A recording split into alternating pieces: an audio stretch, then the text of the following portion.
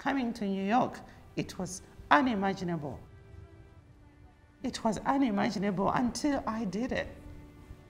I had $60 when I moved to this country. $60, three $20 notes. My parents have a big home. And I was just thinking, here I am on the streets with my suitcases and I have nowhere to live.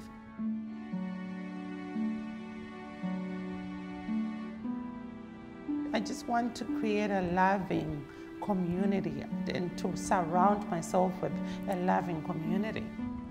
And that's what I hope to create here.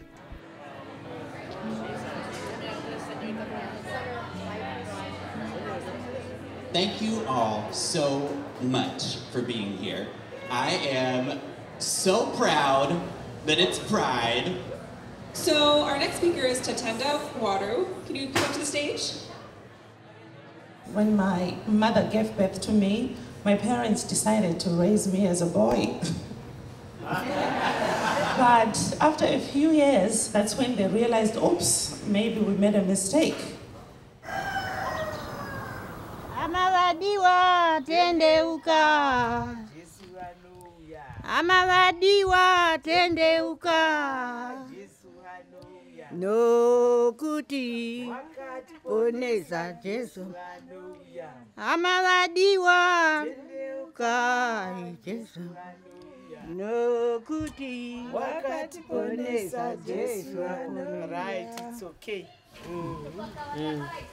It's good to keep these photos. Oh, yes, this is Tatenda here. Uh, nine, it's in 1995. Tatenda was a brilliant and very bright child. She came always top of her class during her primary education. We raised Tatenda hoping he was a boy.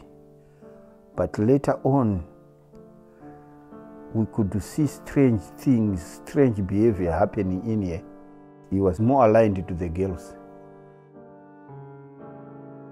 Boys wear shorts and a shirt, and girls wear dresses in school. So I had to go to school wearing a short and a shirt. And that was hard. She cried for me to buy a dress. And also, she, she wanted to wear high heeled shoes. And then she would walk like a girl.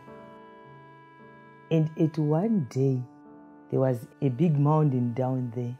And then people would say if you walk around that mountain without breathing, you can change your gender. She said, Mama, I would like to go and walk around that big mountain so that I can change to be a girl. And then I said, Ah, why? I just knew it. I felt it in my gut. I was just, I'm a girl. It's, I don't think there's no explanation more than that. And then in grade six, she had um, what we call hernia. We took her to, to a doctor, and that doctor operated her. But then the doctor said, You know, when I operated this boy, there was something like an ovary.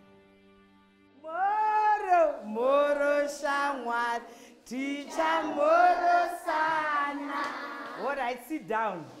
My parents were teachers. We were not poor, but we didn't have much, and we couldn't afford to go to doctors and stuff. a red color My mom said, Well, if you're not sick, let's not worry about it. Hide it for now.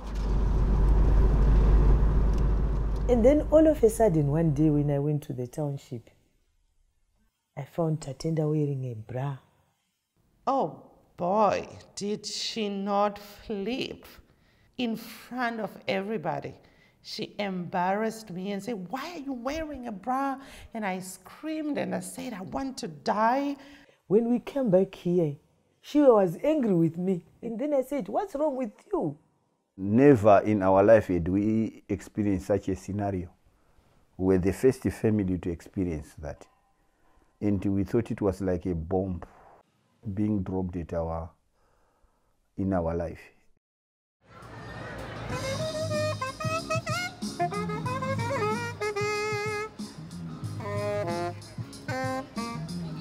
It was two hard years uh, trying to get off the ground and stand on my feet.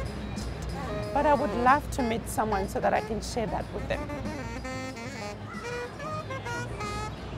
This is my dinner. I, I was talking to all these people, but I get annoyed when people just want to chat me up and sext me and talk about sex when you don't even know me.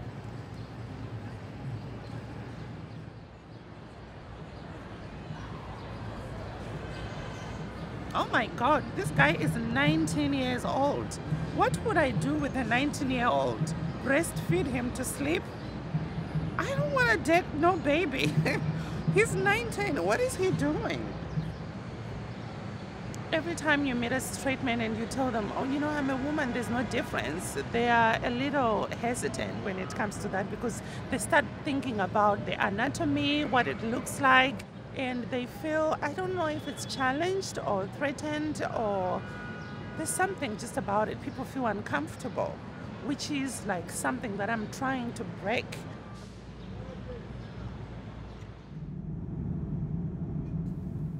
After college, I moved to South Africa. I found a job in a transgender organization. Oh, also, I managed to see doctors, and also, I started taking hormones. She, later on, she brought me a medical report. From there, now she was confirmed as intersex. Then we knew exactly what we were facing.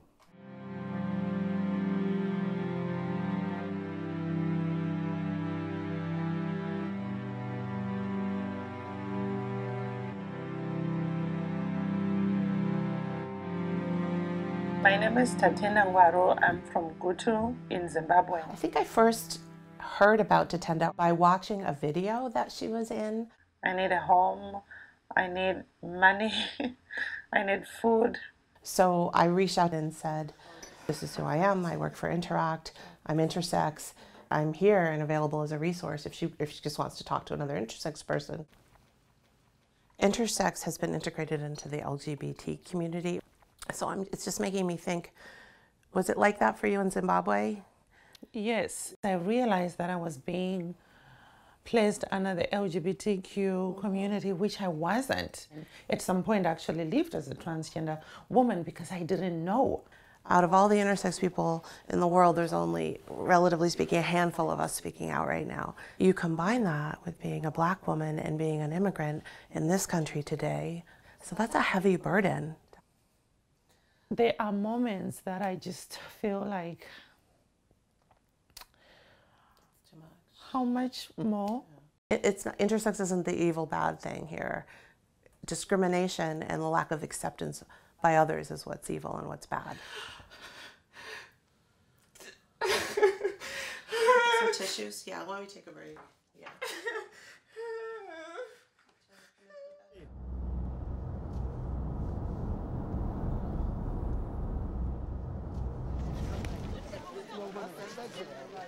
So what we are doing for this school today, we use our own resources to transport these Bibles.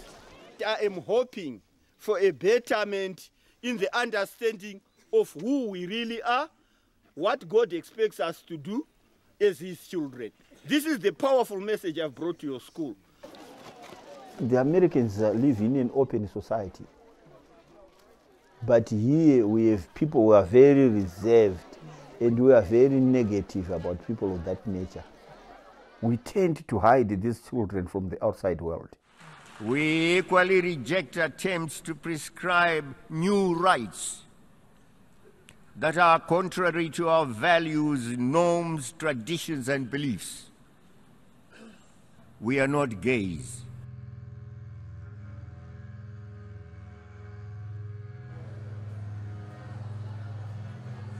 I remember these two men very vividly.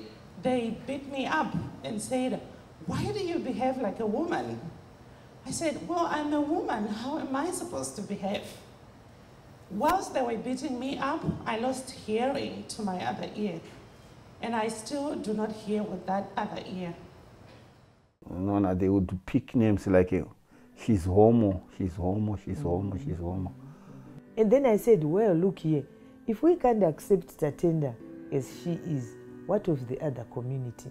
Let us accept her as she is. That's when things started to change. And I went to church and I just started changing the way I dressed. But once my father got up and he told people, hey, that child of mine that you thought was a boy, she's not a boy, she's a girl. Doctors have even confirmed that she's a girl. So, you know, you need to stop talking and leave her alone. And I thought, wow, this man never ceases to amaze me. Because that's not an easy thing to do.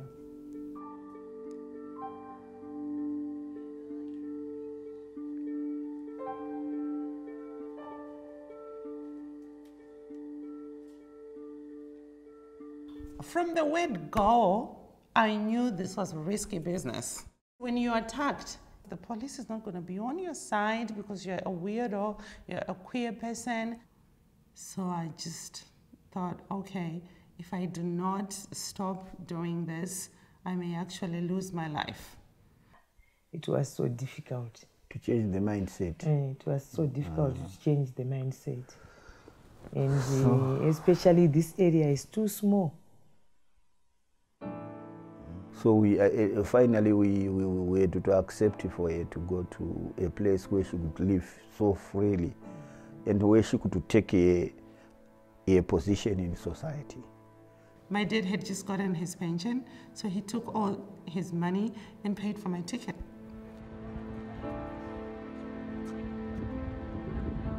We drove her to the airport and I think the mother openly cried at the airport. Uh, I could also feel the emotions, but as a male, you try to contain your emotions as hard as, as possible. And then we bid her farewell. So that was the most difficult decision I've ever had to make. I think for him too.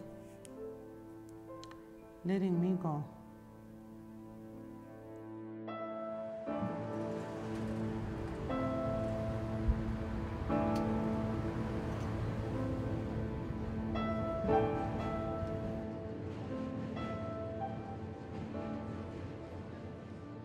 Didn't have a job, I didn't have a home that I could call my own. And I had to uh, wait for almost seven months just to get work authorization. I've gotten a job, which I'm very proud of because it's a nonprofit that gives grants to LGBTQI organizations. I think in the morning, especially when I'm down, I just want to feel sorry for myself for a little bit. You know, I'm on hormones as well, so it's sometimes I'm more emotional than I should be. I thought I was coming to a country that probably understood intersex stuff more than any country. Oh boy, did I have a rude awakening.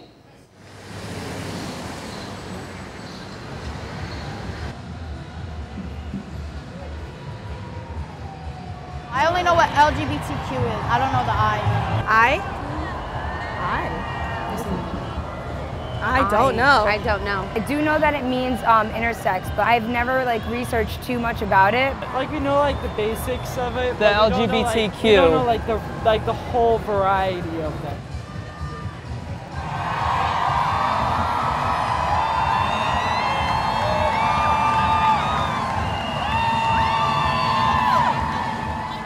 Do you feel connected to Pride, like a big parade or anything? like? No, I'm sad to say I'm really not.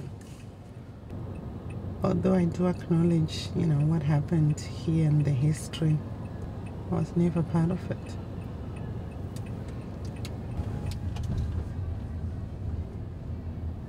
Everything is just overwhelming me. I want to be home. I miss my parents. There is no love in this country, to be quite honest.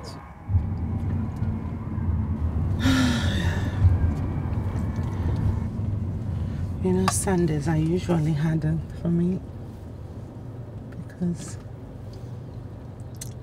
Sunday is like a family day. I don't know if it's like that here. Back home, Sunday, you make food, you go to church together, you have lunch together afterwards. The Israelites were surrounded on all sides. They were facing the sea. So Sundays, it never gets old for me. I'm always sadder than any other day, actually.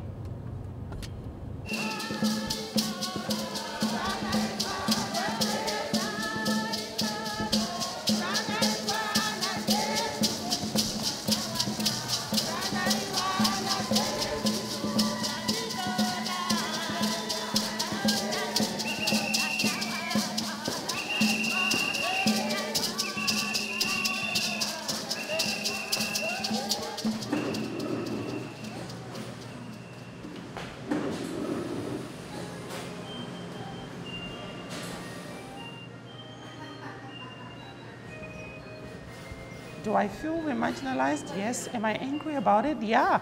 But I am working on it to try and be more stable and be more stronger.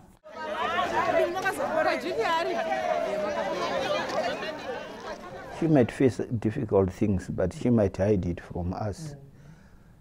I think she is conscious of our weaknesses that she might not want to harm us any further.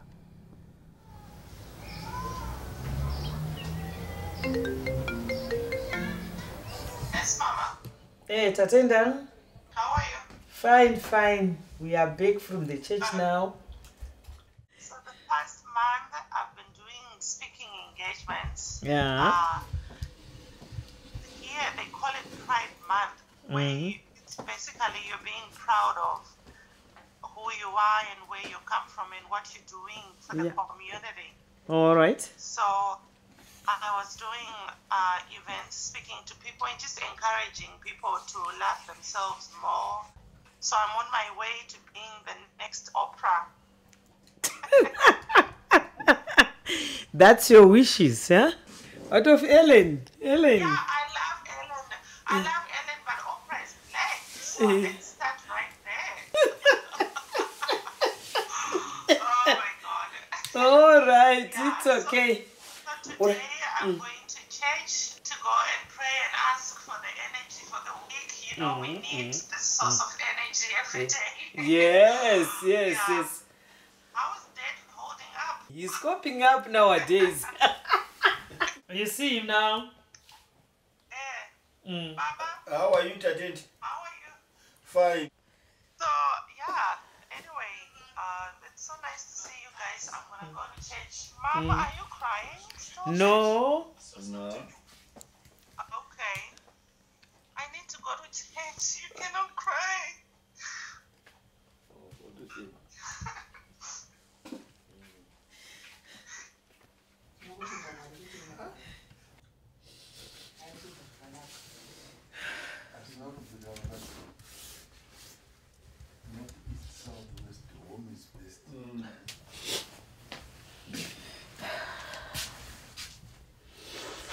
Okay now.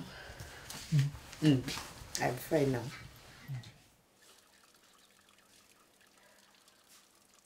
We are not uh, here to say we would wish uh, Tatenda to be an American. We would wish our society to understand the nature of Tatenda and accept her as equally as a, a good citizen like anybody else.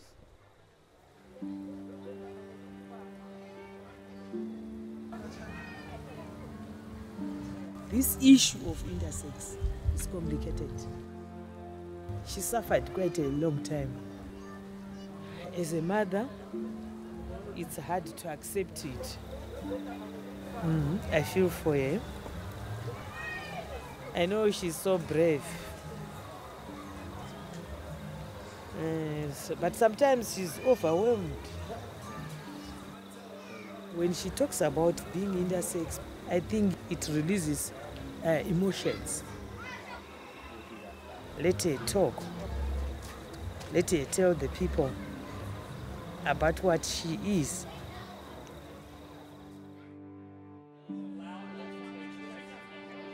I am a black woman, I am an immigrant, and I'm an intersex woman. That is something that is just built automatically to destroy me. But from that, I rise. Thank you.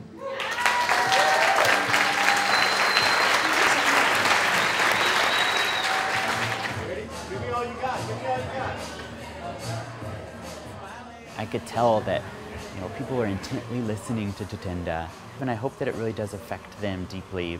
I think it's really important for her voice to be amplified specifically because she is a part of this community that oftentimes we just ignore.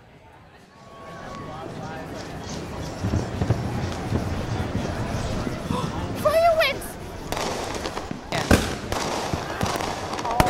Oh my god! God. Happy Independence Day! I just hope everybody who watches that feels the independence in themselves. Because when I watch that, I'm like, oh, that's, for me. It's, it's Yeah. me. I'm independent and I can say what I want and I can own it. Don't you let anybody silence you. Oh, oh, nobody's gonna silence me. Ain't that beautiful?